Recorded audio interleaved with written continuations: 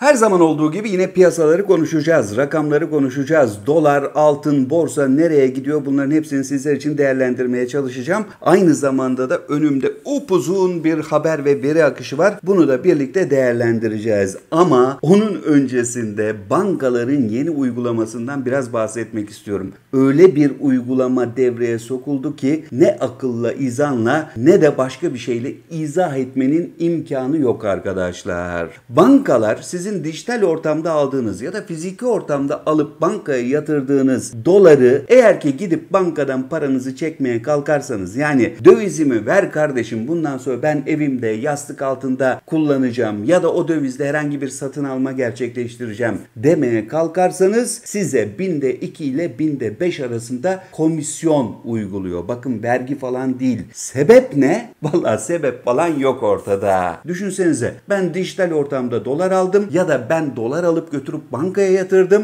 Banka bana faiz ödeyeceğine, banka benim paramı kullanarak para kazandığı için bana bir karşılık vereceğine ben ondan fiziki olarak dolarımı geri istediğim zaman diyor ki bana yok kardeşim paranı alamazsın. Paranı almak istersen sana binde 2 ile binde 5 arasında komisyon uygularım. Niye? Parayı beraber mi kazandık? Parama ne zaman ortak oldun? Ey banka ve BDDK'nın da bu konuyla ilgili acilen bir önlem alması gerekiyor. Ne zaman orman kanunları işlemeye başladı? Bankacılık sisteminde bunu anlamak mümkün değil arkadaşlar. Bunun da detaylarını yine bu videoda sizler için paylaşmaya çalışacağım. Hepiniz hoş geldiniz. Bankaların fiziki dolardan komisyon kesmesi için hiçbir izah yok. Götürdüğünüz, yatırdığınız dolardan bankalar günlük olarak para kazanıyorlar. Repo işlemlerinden para kazanıyorlar, swap işlemlerinden para kazanıyorlar, yatırım işlemlerinden para kazanıyorlar. Yani aslında banka sizin orada yatan paranızdan her geçen gün biraz daha para kazanıyor. Ve bunun karşılığında da eğer ki paranızı vadeye yatırmadıysanız size kuruş para ödemesi yapmıyor. Bunu yapacağına banka siz bankaya gidip ben dolarımı bundan sonra fiziki olarak sizden çekmek, kendim kullanmak istiyorum kardeşim dediğinizde yani kendi paranızı talep ettiğinizde banka diyor ki hop olmaz öyle bir şey. Binde 2 ile binde 5 arasında komisyon ödemek zorundasın bana.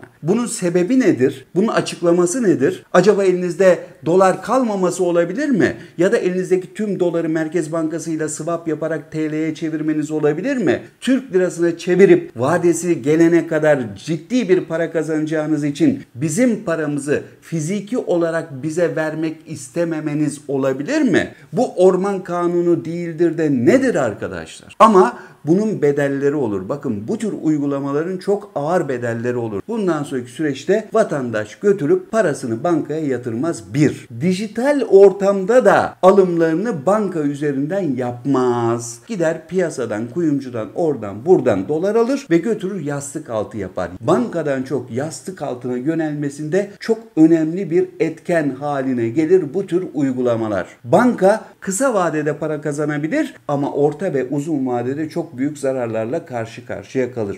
Bakın Türkiye'deki tasarrufların büyük bir bölümü dövize ya da altına kayıyor ve bunlar genel itibarıyla bankacılık sistemi üzerinden gerçekleşiyor arkadaşlar. Rakam ortada. 219 milyar dolar birikmiş durumda tasarruflarda döviz ve altın tasarruflarında. Sadece bir haftada 6 milyar dolarlık döviz ve altın alımı gerçekleşmiş. Bankacılık sistemi de bu parayı kullanarak aslında çok ciddi avantaj elde ediyorlardı. Ama bankalar bugün itibariyle metozori bir şekilde fiziki olarak benden dolar almaya kalktığında bindeki ile binde beş arasında bana komisyon ödemeye mecbursun der ise vatandaşa, yatırımcıya, tasarruf sahibine o zaman da o yatırımcı, tasarruf sahibi der ki o zaman ben bankada tutacağıma parayı götürür evimde tutarım, kasada tutarım kardeşim der. Bu da bankaların daha da sığlaşmasını, daha da az mevduat toplamasını beraberinde getirir. Pek çok kişi en kötü ihtimalle bir hafta 10 gün, bir ay bazen bir yıl o bankada o dövizini tutmaya devam ediyor ve bankalarda bundan para kazanmaya devam ediyor. En basit örneği bankaların Merkez Bankası ile yaptığı son dönemdeki swap işlemleri. %10'un üzerinde faiz getirisi elde ediyorlar bu işlemlerden. Bunu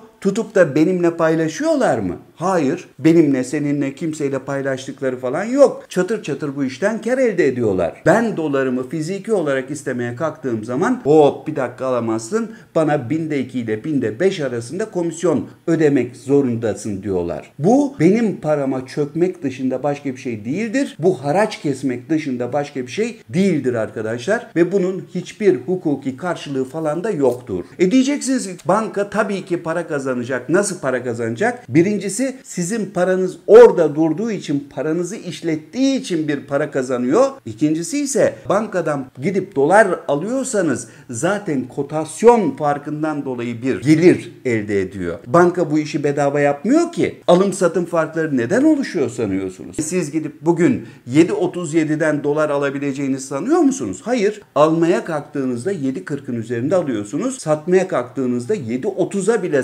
satamıyorsunuz. Aradaki farktan bankalar zaten para kazanıyor. E bir de bunun üzerine ben neden binde ikilik ya da binde beşlik bir komisyon ediyorum bankaya? Bunu anlamak mümkün değil. Bunun bana anlatılması da mümkün değil arkadaşlar. Kimse kimsenin parasına ortak değil. Bankalar bugüne kadar kullandırdıkları krediler nedeniyle yaptıkları zararın bedelini de döviz sahibine ya da altın sahibine ödetemezler kardeşim. Bir takım ballı kaymaklı müteahhitler bu işten çok ciddi karlar elde ettiler ya da birileri ucuz kredi kullanıp o ucuz krediyi götürüp istedikleri gibi kullandılar ve şimdi siz dönüyorsunuz gariban 3-5 kuruş bankada dövizi olan adama binde 2 ile binde 5 komisyon ödeterek orada ettiğiniz zararın bedelini o insanlara çıkarttırmaya çalışıyorsunuz. Cari açık her geçen gün hızlı bir şekilde artıyor diyordum. Nitekim cari denge Haziran'da 2 milyar 930 milyon dolar daha açık verdi. 12 aylığa bakıyorsunuz 11 milyar 940 milyon dolarlık bir açık var. Temmuz-Ağustos ayı itibariyle 20 milyar dolara dayanmış bir cari açıkla karşılaşacağız muhtemelen arkadaşlar. Turizm gelirleri de beklendiği gibi değil. Cari açıktaki bu çıkış dolar üzerindeki devalüasyonist baskıyı da arttıracak. Bunu da özellikle belirtmek istiyorum. Fed guvernörünün çok önemli bir açıklaması var. Fed araştırma amaçlı dijital dolar deneylerini yürütüyor diyor.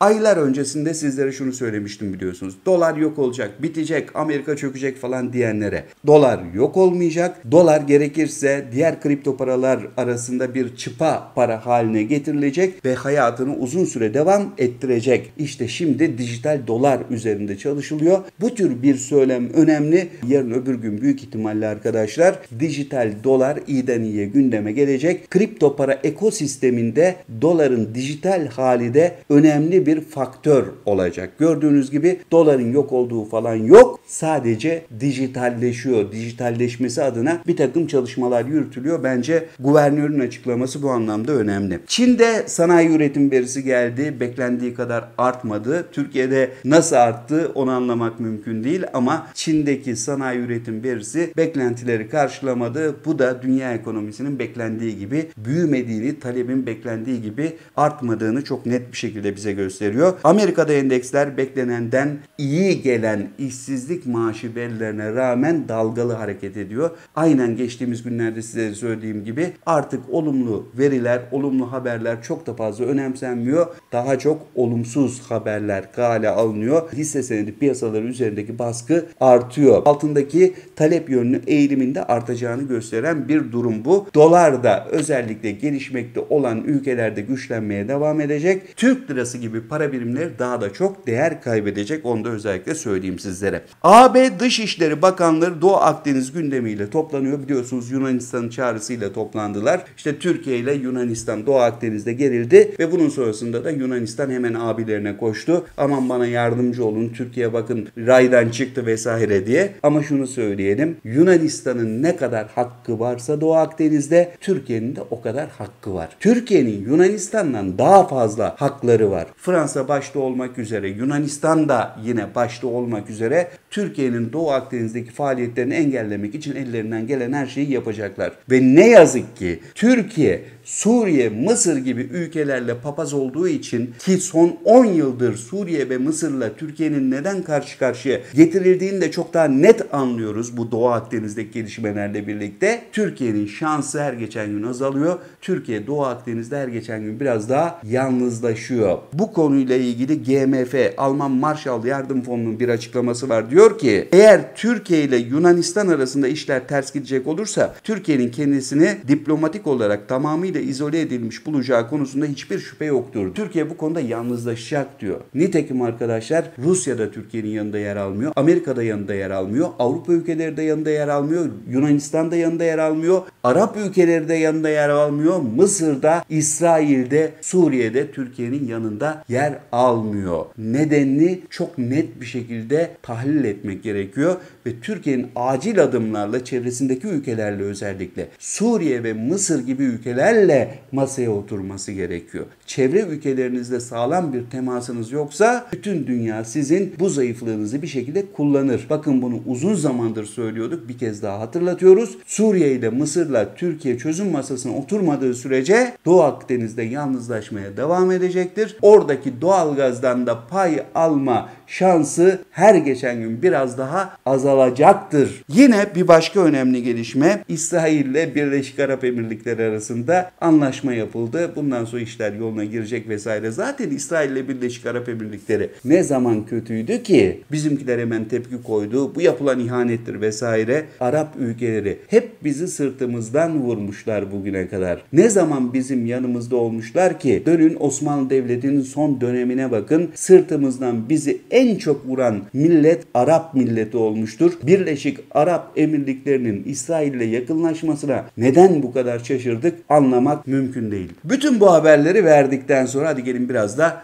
rakamları konuşalım. Borsa 108 bin seviyesine tekrar geri geldi. Bu düşüş kalıcı olacak. Önce 105 bin sonrasında 100 bin aşağıya test edilecek, kırılacak ve 70 bine hatta 60 bine doğru giden bir borsa endeksi göreceğiz. Sizi özellikle uyarmak istiyorum. 110 binlerde sizleri uyarmıştım. %3, %5 kazanacağım diye bu seviyelerden borsaya girerseniz büyük zarar edersiniz. Geri dönmeniz de mümkün olmaz demiştim. O seviyelerden girenlere geçmiş olsun arkadaşlar. Borsanın yükselmesi için hiçbir sebep yok. Türkiye ekonomisinin makroekonomik verileri ortada. Dünyadaki ekonomik veriler ortada. Bütün hisse senedi piyasalarında bir satış eğilimi varken Türkiye'de bu satış eğilimi neredeyse iki kat daha fazla risk barındırırken siz hala borsa yükselecek diye hisse senedi almaya kalkıyorsanız bu zararı da göze alacaksınız. Yükselişlerin hepsi gel gel olacaktır bundan sonraki süreçte. Yani yukarıya çekip çekip sizlere kağıt vermeye çalışacaklardır. Sakın ha sakın bu tuzağa düşmeyin. Dolar 7.37 seviyelerinde şu saat itibarıyla artık 7.30'un üzerine tamamen oturmuş durumda. Önümüzdeki günlerde 7.60-7.80 seviyesini deneyecektir. Ardından da 8.20'ye yolculuğu başlayacaktır. 8.72'ye geldi Euro. 1.20'yi zorlayan parite ile birlikte 9'u gören bir Euro'yu getirir bize. Dolar 7.80'i zorlamaya başladığında zaten 9 liranın üzerinde bir Euro'da görürüz. Sterlinde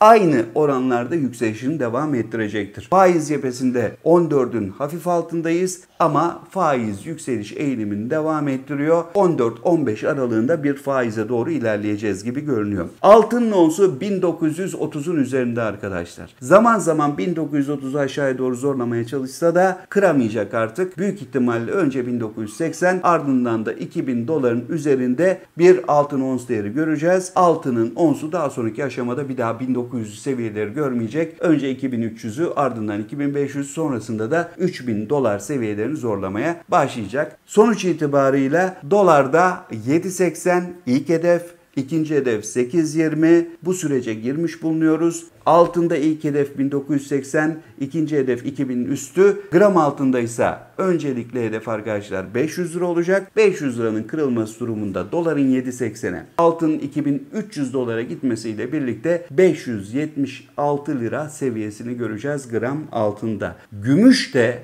30 dolar seviyesini tekrar test edecek ve buna bağlı olarak gram fiyatta yükseliş eğilimini sürdürecek. Videonun en başında söylediğim şeyi bir kez daha söyleyeyim. Bankalar fiziki dolar talebiniz olduğu an itibariyle yani gidip bankadan dolarımı çekmek istiyorum dediğiniz an itibariyle binde 2 ile binde 5 komisyon uygulayacaklar bundan sonraki süreçte. Bunun hiçbir açıklaması yok ve hiçbir temeli de yok arkadaşlar. Aksine bankaların aslında fiziki dolarını talep edenlere komisyon ödemesi gerekiyor. Bugüne kadar sizin dolarınızı tuttuk. Teşekkür ederiz. Sırtınızdan güzel para kazandık. Size alın binde 5, binde 10, yüzde 1, yüzde 2 ekstra para ödeyelim demesi gerekiyor. Bunu yapacağını ballı gaymaklı müteahhitleri kurtarmak için ucuza fonladıkları parayı çıkartmaya çalışıyorlar. Yani zararlarını döviz sahibinden karşılamaya çalışıyorlar. Böyle bir hakları yok. Dijital ortamda talep ettiğimde niye benden binde 2, binde 5 komisyon kesilmiyor da fiziki ortamda istediğimde binde 2, binde 5 komisyon kesiliyor?